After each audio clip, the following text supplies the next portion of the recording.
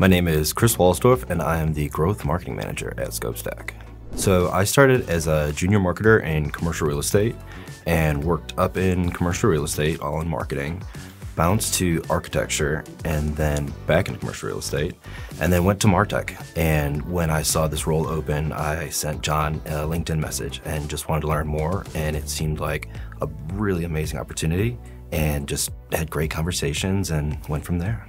What I like about being on the team so far is how incredibly intelligent and humble everyone is.